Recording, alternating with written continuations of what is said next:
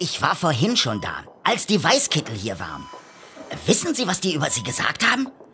Ich meine, vielleicht konnten Sie es ja hören. Äh, aber falls nicht, also, also falls Sie es jetzt hören können, äh, also dann wollte ich Ihnen sagen, also, die haben gesagt, dass keiner weiß, ob Sie noch mal wieder klar werden oder ob da oben in Ihrem Schädel nur noch Kartoffelmus ist. Das haben Sie einfach so gesagt. Ich schwöre, ich hätte Sie fast abgemorkst. Ich meine, wo leben wir denn? Wie geht man hierzulande bitte mit Koma-Patienten um?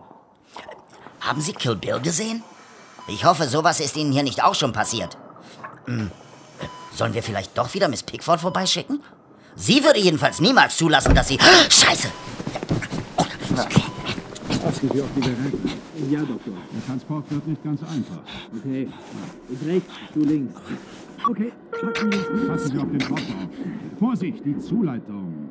Etwas mehr Sorgfalt, meine Herren. Don, Alles klar, Doktor. Dorian! was ist los? Solltest doch an Sullivan dranbleiben.